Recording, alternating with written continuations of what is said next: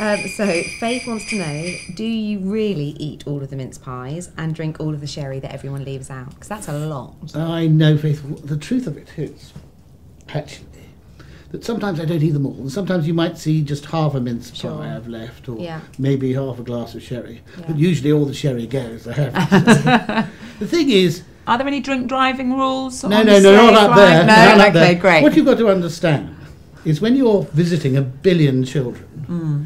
In a matter of hours, you're burning up a lot of calories.